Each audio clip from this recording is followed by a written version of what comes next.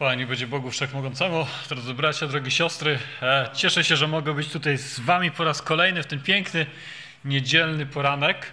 Mam nadzieję, że też przeżywacie radość. E, było to słychać. Dziękuję za uwielbienie, za dobry, wspaniały czas. Możemy przeżywać Bożą obecność również podczas uwielbienia, w czasie też, gdy wielbimy Go w modlitwach. I wierzę, to, że, wierzę w to, że również będzie to czas, gdy będziemy się mogli karmić Bożym Słowem. Bóg położył mi na sercu coś, z czym chciałbym się dzisiaj z wami podzielić, a co wypływa z kilku rzeczy. Przede wszystkim wypływa to z tego, że jestem yy, tatą. To jest jakby wielki powód do radości i do dumy. Moja córka ma już 20 lat, ale e, myślę, że dopóki Bóg da mi tchnienie w moim życiu, to zawsze chcę być tatą i wierzę, że w to, że to jest coś, co jest szczególnym darem i będę zawsze chciał widzieć moje dziecko jako, jako dziecko. Obojętnie ile będzie miało lat i może dzisiaj, gdy mówię dziecko, to gdyby mnie posłuchała, to może by była troszkę bardziej zbuntowana, ale e, wierzę, że, że tak jest. E, drugi powód to taki, że mam ten ogromny przywilej również e, jako jeden z elementów mojej służby e, pastorskiej w zborze Filadelfia w Bielsku Białej, to bycie duszpasterzem dzieci i młodzieży. A kolejny powód to taki, że mam też ten ogromny przywilej, ażeby uczyć dzieci zarówno na szkółce, jak i na katechezie. Więc e, mam możliwość, ażeby poznać e, tą rozpiętość jakby w pełni, ażeby przebywać z młodymi ludźmi. Wybaczcie młodzi, jeżeli powiem dzieci, ale to czasami e, będziemy mieli na myśli, pozwólcie to samo, bez względu na to, czy mówię o 5, 10 czy 20 czy iluś tam latkach. Pozwólcie, że powiem w ten sposób. Myślę, że ktoś kiedyś powiedział takie trafne słowa, że błogosławione dni, gdy ci mówili przez ty, więc niektórzy tego trzymają się do dzisiaj i myślę, że to nikomu ujmy nie przynosi. Wręcz przeciwnie. Myślę, że to możemy traktować w ten sposób, tym bardziej, że jako Kościół jesteśmy rodziną i w ten sposób patrzymy na Kościół. Kościół to eklezja, czyli rodzina, wspólnota, bycie razem, trwanie razem w społeczności, Bóg sobie łasce daje nam takie możliwości lokalowe, żeby być tutaj czy na innym miejscu i za to jesteśmy mu wdzięczni, ale nawet bez tego Kościół by i tak nie przestał istnieć. Bo Kościół to ty i ja, to więksi, mniejsi, starsi, młodsi i to jest ogromna radość i ogromny przywilej, żeby być w Kościele i być Kościołem. E, I Bóg w szczególny sposób przez te wszystkie rzeczy, które powiedziałem na wstępie, położył mi e, taki temat, którym chcę się z wami dzielić – a mianowicie szukanie odpowiedzi na pytanie, czy wiem, jaki obraz mają dzieci, młodsze, starsze, obraz Boga w swoim życiu. I to słowo jest może do ciebie jako do rodzica, to słowo może jest do ciebie jako do przyszłego rodzica, może to słowo jest do ciebie jako dla dobrej cioci czy dobrego wujka, tego ukochanego wujka, ukochanej cioci, może dla babci, dla, dla dziadka, a może jesteś nauczycielem tu w zborze, w szkółce, może jesteś tym, który ma możliwość, ażeby współpracować z młodymi ludźmi, a może jesteś osobą, która dzisiaj nie jest jeszcze w żadnym z tych miejsc, ale może Bóg wkrótce chce cię powołać do służby, do tego, ażeby być zaangażowanym w służbę wśród młodszych i starszych. Więc odnajdź siebie w jednym z tych miejsc i może dzisiaj do ciebie Bóg chce powiedzieć przez to słowo coś szczególnego. No właśnie. Obecnie żyjemy w takim świecie, gdzie ci młodsi i starsi prawie do wszystkiego, czego tylko potrzebują, mają bezpośredni dostęp. I pamiętam czasy, gdy tak nie było. Pamiętam czasy i pamiętam dni, gdy wchodził internet. Pamiętam te czasy, gdy pojawiały się pierwsze telefony komórkowe. Dla wielu dzisiaj to jest abstrakcja. Ale były też takie dni i były też takie czasy, chociaż jeszcze do pięćdziesiątki nie dobiłem. Ale dzisiaj czas zmienia się i my musimy za tym czasem nadążyć. Mamy odpowiedzialność wobec tych, którzy są wokół nas. A dzisiaj, tak jak mówię, świat biegnie do przodu i nie chciałbym, abyśmy zostali w tyle. Dlatego, że to wszystko, co młodsi i starsi mają dzisiaj pod ręką, przynosi im różnorakie możliwości. Czy łatwiej im jest przejść przez świat niż nam było? Nie wiem. Może nie ale może problemy mają inny wymiar. Może dotyczą innych rzeczy. I może dotyczą rzeczy, których nie rozumiemy albo od których uciekamy i nie chcemy ich zrozumieć. Może dotyczą rzeczy, których wolimy nie dotykać, albo wolimy je zostawić, żeby biegły swoim torem. Ale chciałbym na początku powiedzieć jedną ważną rzecz. Jeżeli my nie damy odpowiedzi, świat je da na pewno. Jeżeli my nie wypełnimy pewnych rzeczy w życiu tych młodych ludzi, bez względu, tak jak powiedziałem, na ich wiek, to na pewno zrobi to świat. A to jest moja i Twoja odpowiedzialność. Czy wiesz, jaki obraz Boga mają ci młodsi i starsi, którzy są wokoło Ciebie? Czy w ogóle zastanawialiśmy się nad tym, jaki mogą mieć obraz? Ja nie pytam o to, czy wiesz, co jest nauczane w zborze, na szkółkach, tam, gdzie są, gdy idą na swoje spotkania. Nie pytam zupełnie o to. Ale czy ty masz pojęcie, drogi bracie, droga siostra, drogi przyjacielu, jaki oni mają obraz Boga w swoim życiu? A z czego to wypływa wielokrotnie? Wielokrotnie wypływa to z tego, jaki my mamy obraz Boga w swoim życiu. Nie jaki chcemy mieć obraz, ale jaki rzeczywiście obraz Boga jest w moim i Twoim sercu. Każdy okres to trudny okres. Mówi się, że czas tej małych dzieci to trudny czas. Potem mówi się, że gdy dorastają jest trudny czas, a potem przychodzi kolejny trudny czas. I moglibyśmy te trudne czasy mnożyć. Ale czy to jest usprawiedliwienie? Zawsze może być trudny czas. No właśnie. I zawsze mogą być trudne reakcje. I zawsze mogą być trudne pytania i jeszcze trudniejsze odpowiedzi. Ale chciałbym, żebyśmy na to popatrzyli z perspektywy Bożej rodziny. Czasami, gdy coś się nasila, doprowadza do pewnych zachowań, które, które mogą doprowadzać z kolei do, nie wiem, do depresji, która dzisiaj jest tak bardzo powszechna, która zabija, która doprowadza na skraj wyczerpania, w, w najlepszym wypadku, ale tak jak powiedziałem wcześniej, doprowadza również młodych ludzi do tego, że targają się na własne życie. I te statystyki, gdybyście popatrzyli, a ja pozwoliłem sobie na nie popatrzeć, ale nie będę was dzisiaj nimi zanudzał, one są zatrważające. Żyjemy w trudnym czasie, ale to nie jest usprawiedliwienie. Dzisiaj to wszystko przejawia się czasami agresją, buntem. Może się z tym spotykacie. Ale tak naprawdę to funkcjonowanie tych młodych ludzi sprawia, że czasami odstajemy. Może usłyszycie, że jesteście boomerami. Może również takie określenie usłyszycie. Kiedyś nie wiedziałem, dzisiaj już wiem.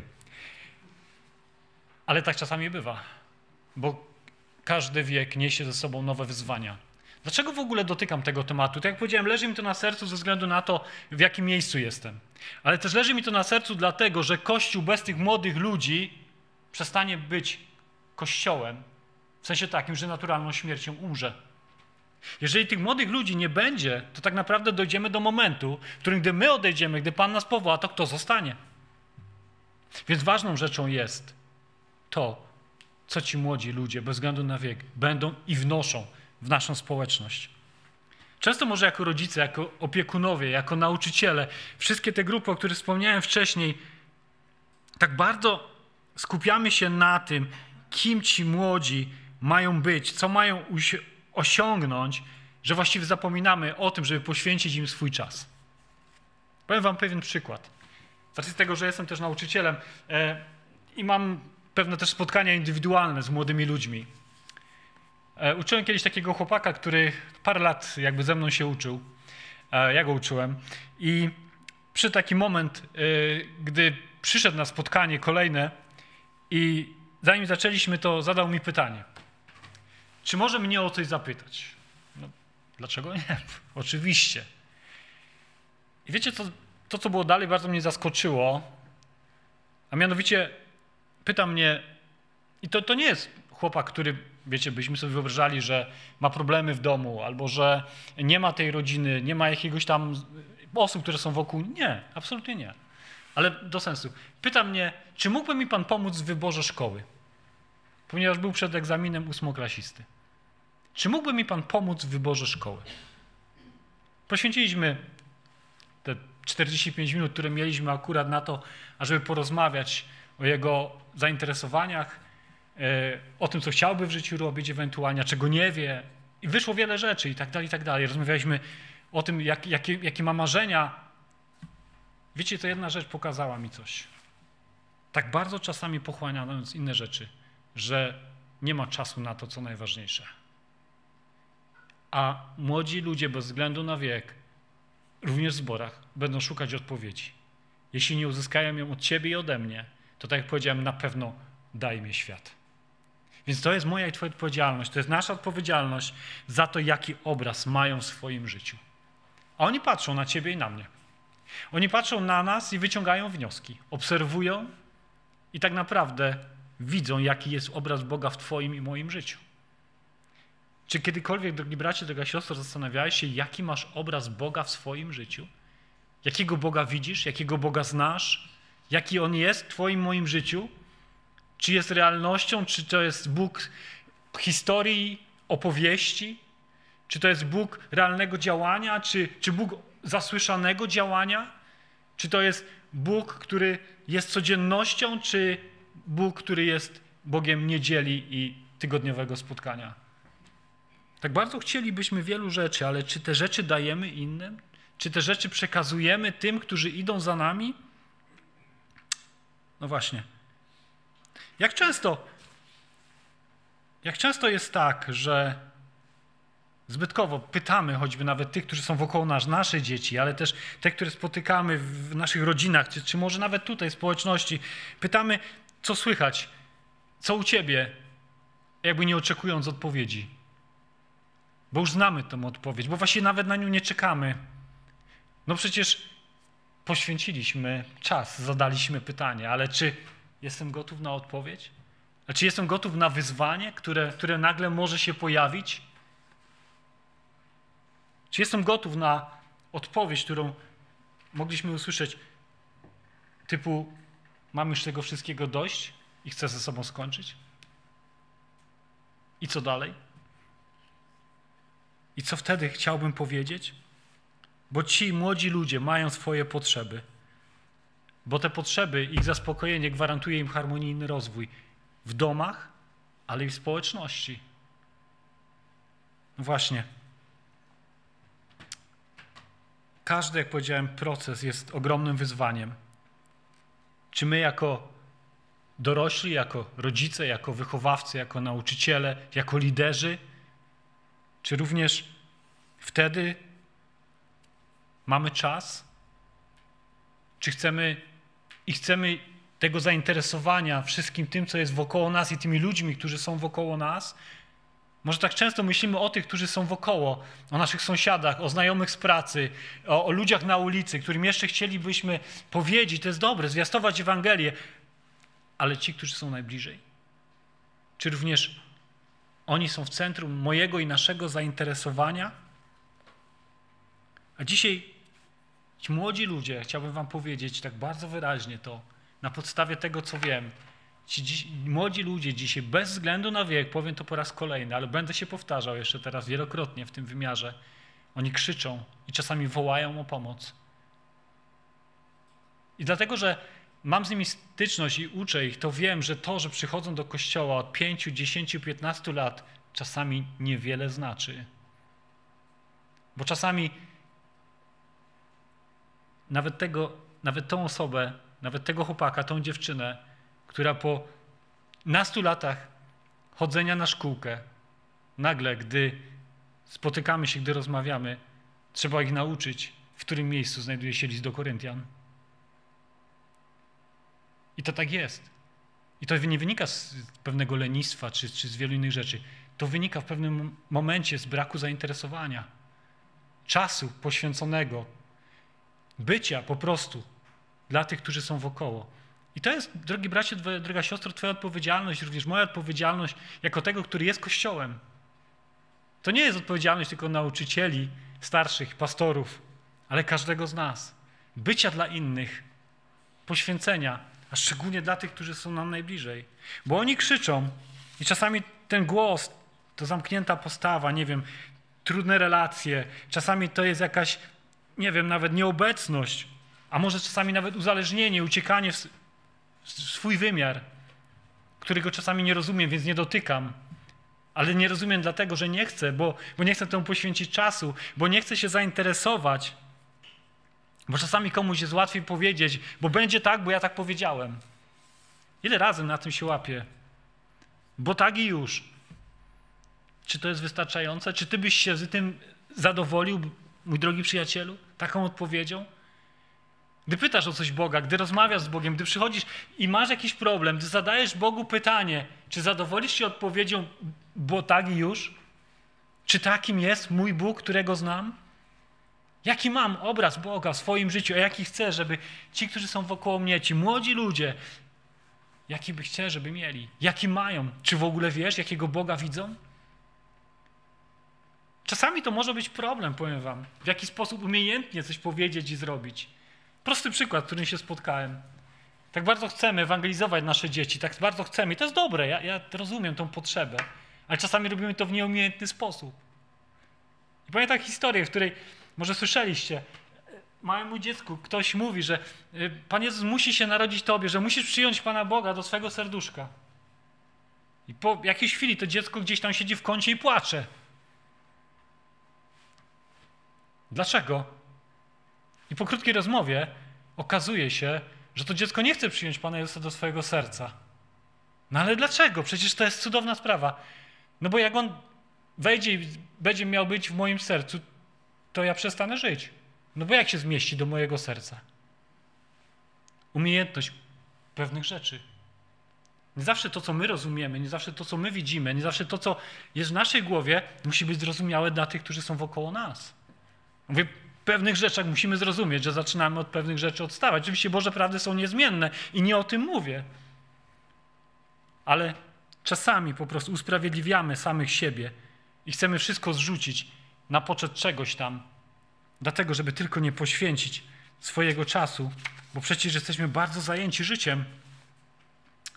Jak bardzo często jako rodzice, jako nauczyciele, jako wychowawcy, babcie, dziadkowie, obojętnie do której grupy dzisiaj może należysz albo będziesz należał w przyszłości, jak bardzo często niewłaściwie interpretujemy zachowania i reakcje. Ile razy zdarzyło ci się, czy mi się zdarzyło popatrzeć i stwierdzić, a, bo nastolatkowie, czy, czy młodzi, młodzi dorośli, czy dzieci, to ta grupa, która ciągle się złości, pyskuje i obraża. To ta grupa, który, która jest wiecznie niewdzięczna, która wiecznie nie wie, czego chce, która nic nie robi, która za mało się uczy. I mógłbym tu jeszcze mnożyć i mnożyć. Ile razy to są pewne rzeczy, które zastępują chwilę spędzoną razem, rozmowę, zastanowienie się, wskazanie na, na na Boży obraz, na Jego serce, na Boże Słowo. Jak często traktujemy ci, którzy są wokoło nas, traktujemy ich instrumentalnie, instrumentalnie. Jak często oczekujemy całkowitego podporządkowania i zrozumienia, że tak musi być, ale sami nie chcemy zrozumieć drugiej strony. Ale sami nie chcemy popatrzeć i na chwilę choć zatrzymać się, żeby zrozumieć, dlaczego tak, a nie inaczej. Wiecie, jaki jest ulubiony mechanizm obronny dorosłych? Uogólnienie. Dokładnie tak. Bardzo często uogólniamy wszystko. Co to znaczy? Jak często stwierdzasz, nie chcąc pewnych rzeczy kontynuować, bo nie potrafisz jakby sobie z tym poradzić, jak często stwierdzamy, a, jak zwykle. Jak zwykle. Albo może Czego można się było spodziewać? Jak często po prostu staramy się skupiać na tych właśnie rzeczach, na własnych emocjach i przestajemy zauważać właściwe, realne potrzeby. Tylko dlatego, że pewnych rzeczy nie rozumiemy albo nie chcemy zrozumieć, tak jak powiedziałem. I wydaje nam się, że to się wszystko jakoś będzie działo. Ale wiecie co? Gdy patrzę na Boże Słowo, to nie widzę żadnego miejsca, w którym Pan Jezus robił cokolwiek albo mówił cokolwiek, żeby było jakoś. Bo Bóg chce dla nas wszystkiego, co najlepsze i wierzę, że my również tego, jako, jako ci, którzy jesteśmy, aby pokazać drogę innym, chcemy też tego czegoś wyjątkowego, szczególnego dla tych, którzy są wokoło nas, a nie czegoś, żeby było jakoś. Przecież nie do tego zostaliśmy powołani. No właśnie, do czego jesteśmy powołani? Na podstawie Bożego Słowa. Księga Przypowieści, 22 rozdział, 6 werset mówi: Wychowuj chłopca odpowiednio do drogi, którą ma iść, a nie zejdzie z niej nawet w starości. Wychowuj chłopca, wiadomo, chodzi też również i o dziewczynki, odpowiednio do drogi, którą ma iść, a nie zejdzie z niej nawet w starości. Wychowuj. No właśnie. Coraz częściej badaje się słyszeć głosy przynajmniej ja je słyszałem, głosy nastolatków, młodych ludzi, nawet dzieci skarżących się na brak umiejętności rodziców przekazywaniu im pewnych etycznych i właściwych wartości, które wynikają z Bożego Słowa. I to nie jest jakby nic nowego. Wiecie, to da się słyszeć. Gdy pracujemy na szkółkach, gdy pracujemy na katechezach,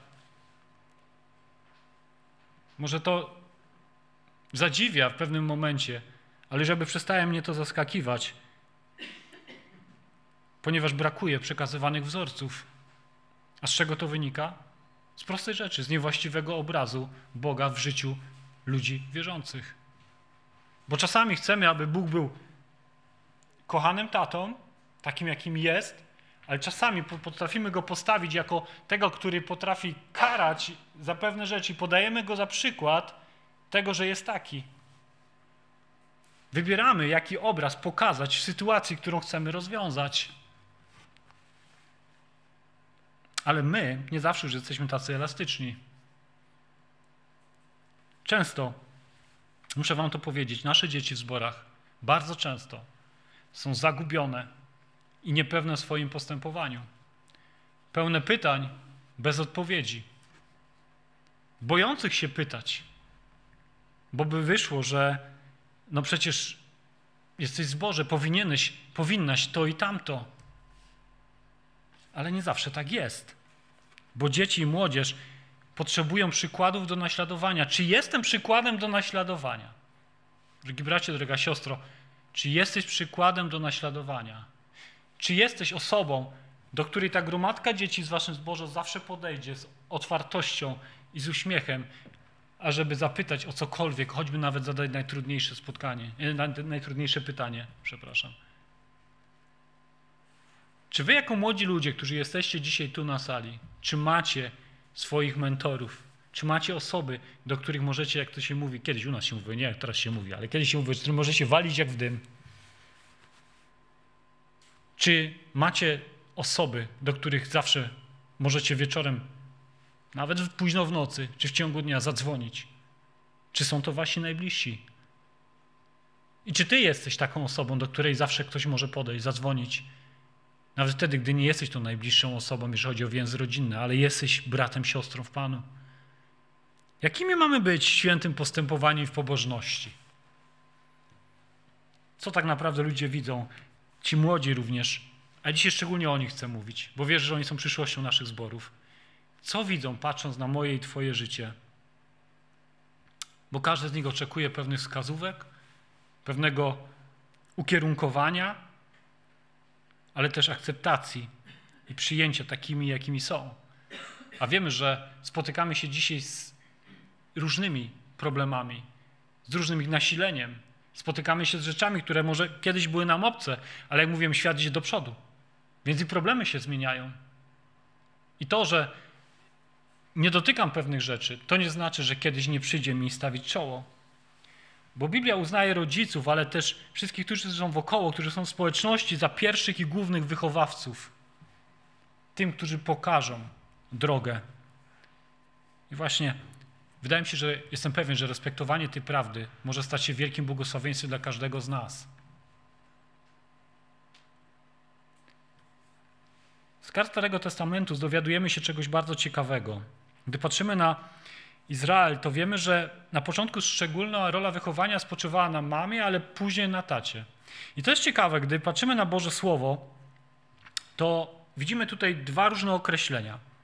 Jedne z nich w oryginale brzmi jassar, co znaczy nauczać i karcić, a drugie brzmi torah, czyli pouczać, wskazywać. No właśnie, Boże Słowo pokazuje nam, w jakim kierunku wychowanie, czy też pokazywanie właściwego obrazu Boga powinno iść. Z jednej strony mamy nauczanie, pouczanie, wskazywanie, ale też jest karcenie. Dzisiejszy świat zbiera żniwo tak zwanego bezstresowego wychowania. I widzimy to na każdym kroku. Doszliśmy do momentu, w którym właściwie, jeżeli ktoś jest z Was nauczycielem, to wie, że tak naprawdę nic nie możecie. Za cokolwiek, nawet za to, że krzywo się popatrzycie, możecie zostać oskarżeni i skazani. Ale za to ta druga strona właściwie ma pełne prawa i obowiązki. Od najmłodszych lat, dzisiaj, od pierwszej klasy podstawówki, jeżeli macie dzieci w tym wieku, to wiecie, że uczy się ich o ich prawach, jakie mają, z małym zaznaczeniem tego, jakie mają obowiązki. Ale masz prawo do. No właśnie. A Boże Słowo pokazuje nam to, że mamy pouczać, nauczać, wskazywać, ale też i karcić. Oczywiście nie ma tu absolutnie na myśli tego, że trzeba jak najmocniej wlać, bo wtedy dopiero dojdzie.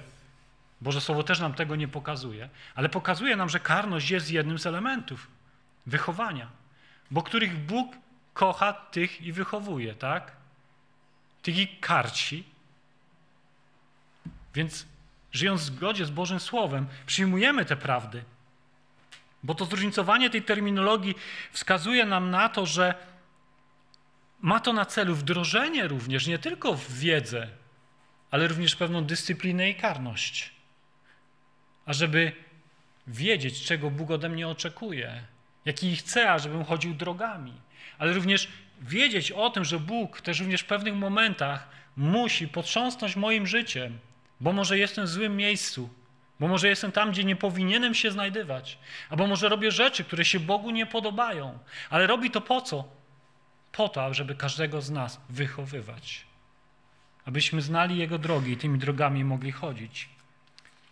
Dzisiaj świat nam mówi, że dziecko rodzi się i mówią, określają to jako tabula rasa, czyli jako biała kartka. Całkowicie się z tym nie zgadzam, pozwolę się z tym nie zgodzić. Również dlatego, że nawet autorzy biblijni uważają, że dziecko nie rodzi się w ten sposób. To by oznaczało, że przychodząc na świat jest jak biała kartka, niezapisana kartka, na której to życie zapisuje wszystko. Ale wiecie co? Gdy patrzę na, na życie swoje i tych, którzy są wokoło mnie i mogę obserwować, to nie mogę się z tym zgodzić, choćby na, nawet dlatego, że robić źle mnie nikt nie uczył. A zawsze gdzieś tam uczono mnie i chcę uczyć tych, którzy są wokół mnie i siebie samego, żeby robić dobrze. W tą drugą stronę jakby zawsze trzeba było. Jakby to ta pierwsza strona, czyli robienie pewnych złych rzeczy, po prostu się pojawiało. Zawsze jakoś było łatwiejsze i prostsze. Zgodzicie się ze mną? Jakby tego mnie nikt nie uczył, a jednak się to pojawiało. Więc nie mogę powiedzieć, że przychodzę jako tabula rasa. Ale ważne jest to, czym to życie zostaje napełniane, jak jest kształtowane. I to jest moje i Twoje zadanie. To jest moja i Twoja odpowiedzialność. Bo jeżeli, jak powiedziałem, my tego nie zrobimy, to zrobi to świat. Jeżeli my nie wychowamy tych, którzy idą za nami, nie pokażemy im właściwej drogi, nie będziemy dla nich świadectwem, nie będziemy ich uczyć i kształtować, nie będziemy pokazywać właściwego obrazu Boga w życiu, to świat pokaże im właściwy obraz i ich pochłonie. No właśnie. To wszystko zależy od nas. To na nas spoczywa ten obowiązek, odpowiedzialność, ale i przywilej. Dlatego ważne jest, ażeby to robić jak najwcześniej, ale żeby też o tym nie zapominać, ażeby nie odpuszczać, ażeby zawsze być tym, który będzie gotów, ażeby pouczać, nauczać, ażeby dobrze doradzać. Pewien młodzieniec gdy rozmawiał z Panem Jezusem, odpowiada tak w taki sposób na jego pytanie: Nauczycielu, tego wszystkiego przestrzegałem od młodości mojej. Pamiętacie historię? Tego wszystkiego przestrzegałem od młodości mojej. A więc było coś, co było w nim ukształtowane i żył według tego. Ale dochodzi do momentu, w którym nagle, według mnie, to jest czas, w którym to wszystko było, ale teraz są rzeczy, które przyćmiły to. Tego wszystkiego przestrzegałem, ale, no ale właśnie, dzisiaj jestem, gdzie jestem, mam co mam. A my potrzebujemy ciągłego odświeżania, takiego refreshu, że ciągle w nas pojawia się to na nowo, że, że to jest ciągle podniecane tym mocnym płomieniem. Wiecie, nie jest żadną nowością, że słaba żarówka nie da żadnego światła. I to, że jest żarówką, nie znaczy, że rozwiąże problem ciemności nie wiem, w naszym pokoju, w domu, gdziekolwiek jesteśmy. Ale im mocniejszą wkręcimy, tym więcej widzimy. Im mocniej ona świeci, tym, tym więcej dostrzegamy, tym jest bardziej przydatna, tym spełnia coraz bardziej swoje zadanie. Więc pytanie jest, jakim światłem świecę? Czy takim przydymionym, lekkim, żeby nikogo nie urazić, nie skrzydzić, żeby nie, nie rozświetlić wszelkiej ciemności? Czy jednak chcę świecić? Czy jednak chcę dawać dobry przykład? Czy jednak chcę mówić o tym, co należy we właściwy sposób? Być odpowiedzią na pytania, szukać odpowiedzi, sam się zaangażować, dać czas, ażeby problem przestał być problemem. W liście do Tymoteusza, w trzecim rozdziale czytamy, ale ty, i to jest do każdego z nas, do ciebie, do mnie, drodzy braci, droga siostro, przyjacielu, ale ty trwaj w tym, czego się nauczył i czego jesteś pewien, wiedząc, od kogoś się tego nauczył. I ponieważ od dzieciństwa znasz pisma, które cię mogą obdarzyć mądrością ku zbawieniu przez Jezusa Chrystusa, trwaj w tym, czegoś się nauczył. No właśnie, czegoś się nauczył.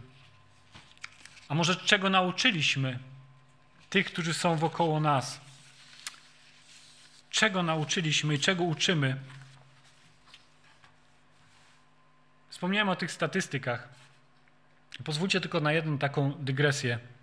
Wiecie, czego dzisiaj najbardziej pragną młodzi ludzie według statystyk? I to nie są tylko statystyki gdzieś z Ameryki, gdzieś tam odległe, ale statystyki, które znalazłem, które dotyczą również naszego, przede wszystkim naszego kraju, bo to mnie interesowało. Gdybyście na nie popatrzyli, to pada pytanie, czego pragną nastolatki? Wiecie, czego pragną nastolatki? Po pierwsze, miłości bliskości, bezpieczeństwa, akceptacji, autentyczności, autonomii, uwagi, wsparcia. To bym tak po kolei, gdybym wymieniał. Wcale nie ma tam nic na temat nowego smartfonu, wcale nie ma tam nic na temat samochodu, mieszkania, dobrej pracy. To gdzieś się pojawia. Ale dzisiaj, i to mnie, nie wiem, może zaskoczyło nawet, bo musiałem się z tym zmierzyć. Czego pragną najbardziej? Miłości. Bo dzisiaj miłość jest wypaczona, bo dzisiaj miłość ma różne oblicza, bo dzisiaj miłość jest zupełnie czymś innym, o czym mówi nam Boże Słowo, którą wiemy, jaka jest, bo żyjemy według Bożego Słowa i widzimy, znamy Boga, a On jest przecież prawdziwą miłością. No właśnie, miłości. Miłości okazywanej zachowaniem i wyrażanej słowami. Miłości okazywanej zachowaniem i wyrażanej słowami. Z jednej strony można dużo mówić, ale z drugiej strony można po prostu być. Czy mam czas w swoim życiu, ażeby być? Ażeby po prostu być czasami. Z kim spędzić czas. Może miałeś, może masz jakieś ambitne plany względem życia. Może miałeś takie plany. Że nie będziesz robił tego, czego w Twoim życiu najbardziej Ci brakowało. Może miałeś takie postanowienie, gdy, gdy pojawiło się Twoje dziecko, albo gdy, gdy, coś się stało w życiu, że nie będę robił tego, czego mi najbardziej brakowało w życiu. I nagle dzisiaj stoisz i zadam pytanie, czy tak jest? Czy przypadkiem nie powielamy tych samych błędów, od których chcieliśmy się odciąć? Czy mój dom, czy Twój dom jest miejscem, w którym jest przekazywany właściwy fundament, na którym można budować właściwy fundament. Czy mój dom jest takim miejscem dla mojej rodziny, dla, mojej, dla mojego dziecka, dla waszych dzieci, ale też dla, dla Kościoła? Czy jest on miejscem, w którym jest przekazywany fundament istnienia, wiary, ale też jest miejscem, w którym można się rozwijać, w którym można wzrastać, w którym można iść i wejść i głębiej, i głębiej? Czy to jest taki dom? Właśnie. Bo fundament jest podstawą. Ale też, tak jak powiedziałem, ci, którzy są wokoło nas, patrzą na nas, obserwują nas. I bardzo ważny jest mój osobisty, serdeczny stosunek do mojego Boga, do Syna Jego, Jezusa Chrystusa, do Ducha Świętego. Czy to jest prawda tylko wypowiadana słowami, czy jest treścią bez słów, która realizuje się w moim i Twoim życiu? Dzisiaj, gdy popatrzylibyśmy na to, o czym mówią psychologowie, w jaki sposób się wypowiadają, to wiele razy znajdziemy rozwiązanie problemów w jednym stwierdzeniu. Dawajcie swoim dzieciom, swojej młodzieży miłość. Bardzo często się to przejawia. Dawajcie im miłość, bo to jest największy deficyt naszych współczesnych czasów. A my mamy miłość, która jest wszystkim i we wszystkim. A my możemy dzielić się miłością, która nie przemija, która nie jest hasłem wypisanym na murze, która nie jest tylko zbytkowym sloganem, ale jest sensem i treścią, jest osobą, która może zmienić, która może wpłynąć, ukształtować, która może dać radość, przemienić nawet najciemniejsze obszary życia. Dawajmy miłość tym, którzy są wokoło nas. Dzielmy się tą miłością, żyjmy tą miłością, ale nie bądźmy w tej miłości egoistyczni. Dlaczego? Dlatego, że ktoś nie był egoistyczny względem ciebie i dlatego dzisiaj możesz być tu na tym miejscu. Bo ktoś nie był egoistą i kiedyś był dzień, w którym powiedział mi o prawdziwej miłości. I tylko dzięki temu, że nie był egoistą, mogę tutaj stać. W życiu nauczyłem się czasami mówić rzeczy wprost, co mi bardzo ciężko przyszło.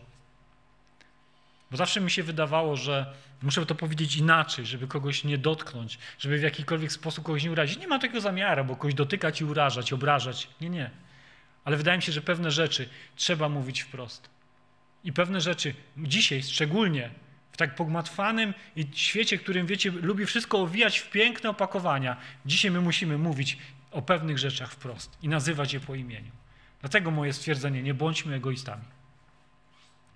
Dlatego Bóg wzywa nas do tego, nie bądź egoistą. On tego nie mówi wprost, ale mówi, idźcie i głoście. Ja to mówię w ten sposób. Ja to sobie przetworzyłem na swoje. Nie mam prawa być egoistą, bo ktoś nie był egoistą względem mnie. Dlatego chcę się dzielić tą miłością i mówić o tych potrzebach i mówić o tym, co jest. Ross Campbell w swojej książce poruszył bardzo ciekawy temat i mówi tak. Bez mocnej, opartej na miłości więzi, dziecko zawsze, bez względu na wiek, reaguje na wskazówki tych, którzy są wokoło nich, złością, urazą i wrogością. Uważa prośby czy polecenia zaczepianie się i stara się im sprzeciwiać. W drastycznych przypadkach zaczyna reagować na każdą próbę rodziców i tych, którzy ich wychowują tak wrogo, że jego ogólny stosunek do, tych, do nich samych zaczyna polegać na robieniu wszystkiego właśnie na odwrót, na przekór i daleko od tego, czego się od nich oczekuje. Jak często my robiliśmy na przekór? Jak często my chcieliśmy robić na przekór? Jak często mamy lepsze zdanie, większą wiedzę, nawet od tego, który jest wszystkim i we wszystkim? Jak często Bóg chciał nas uchronić od wielu rzeczy, ale my musieliśmy postawić na swoim. Jak często było tak, że Bóg mówił nam idź w lewo, a ja my poszliśmy w prawo. Jak często byliśmy jak Jonasz, którego patrzymy na jego historię i jego życia i wydaje nam się, no jak tak można, a robimy dokładnie tak samo. Gdy Pan Jezus, gdy Bóg mówi że pójdziesz do Niniwy, on mówi, Panie Boże, mi się bardziej Tarszysz podoba. No wiesz, lepszy klimat, lepsze miejsce. Wydaje mi się, że tam będzie lepiej. I patrzymy na Jonasza, oceniamy go, a wielokrotnie robimy dokładnie tak samo. Wielokrotnie zachowujemy się dokładnie w ten sam sposób, bo wiemy lepiej. A gdy chodzimy do momentu, w którym tak naprawdę się poparzymy, gdy zaczyna nam być źle, zaczynamy pytać Boga dlaczego. I nigdy tego pytania nie kierujemy w stronę samych siebie. No właśnie. To my możemy poprowadzić tych, którzy są wokoło nas w odpowiednią stronę duchowego rozwoju, ale do tego potrzebujemy bliskiej relacji z tym, o którym mówimy, że jest naszym Panem i naszym Bogiem. To my potrzebujemy głębokiej relacji. To my potrzebujemy głębokiej znajomości, ażeby móc dzielić się, uczyć i kształtować innych. A żebyśmy chcieli ich widzieć w miejscu, w którym tak naprawdę pragniemy ich widzieć. Jaki masz obraz Boga w swoim życiu? Kim jest dla ciebie dzisiaj Bóg? Czy jest odległy, czy bliski? Czy masz z nim relację, czy po prostu się spotykasz? Bo to jest duża różnica. Sami chcemy dzisiaj doświadczać bezpieczeństwa. Wokół te, wobec tego, co się dzieje wokoło nas, pragniemy dzisiaj, myślę, tak bardzo bezpieczeństwa. Jesteśmy wdzięczni za to, że żyjemy w kraju, w którym panuje pokój. Ale czy jest to też treścią mojej modlitwy?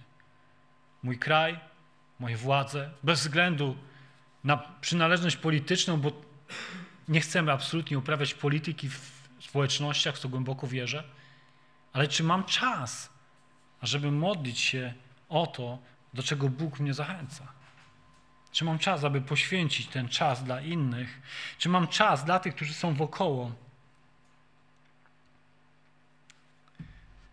Ktoś kiedyś powiedział bardzo trafnie, że doświadczenie bezpieczeństwa wpływa na doświadczenie bliskości Boga i Jego miłości. Doświadczenie bezpieczeństwa wpływa na doświadczenie bliskości Boga i Jego miłości.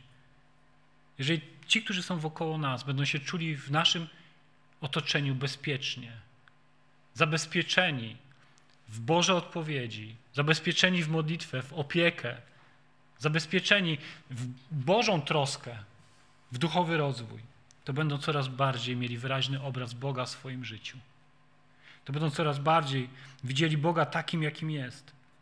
To będą pewni tego, że będą akceptowani nie tylko w domach, ale również w kościele, takimi, jakimi są. Bo każdy z nas jest inny. Bo każdy z nas został obdarowany w inny sposób. Czy akceptujemy siebie nawzajem takimi, jakimi jesteśmy? Wiecie, to nie jest wcale proste. Może tego doświadczacie, ale to nie jest wcale takie proste. Nawet wtedy, gdy, nie wiem, po raz dziesiąty słyszycie, że muzyka za głośno, że światła za jasno, że ktoś usiadł na moim krześle. Jesteśmy kościołem. Jesteśmy żywym organizmem i każdy z nas jest inny.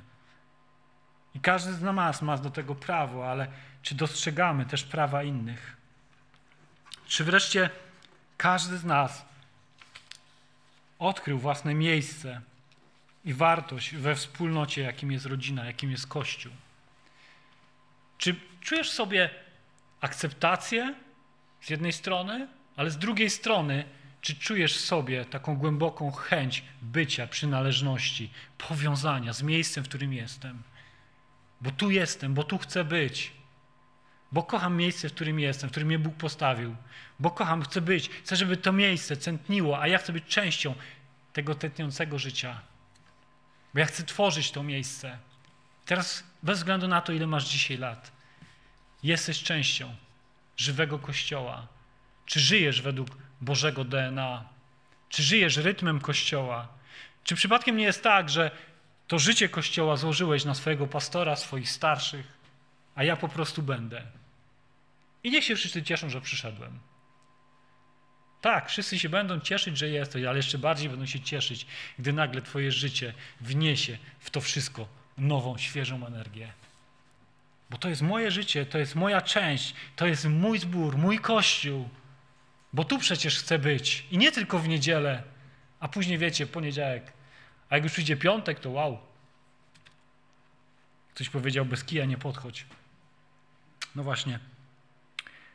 Czasami emocje biorą górę, ale to my musimy brać górę nad emocjami, ukierunkowywać je we właściwy sposób, ażeby one były i przynosiły właściwe efekty. Emocje są dobre, bo my potrzebujemy, wiecie, emocji do działania czasami. Czasami potrzebujemy do, do tego, żeby zaangażować się w coś, albo po prostu ich potrzebujemy, ale one muszą być właściwie ukierunkowane.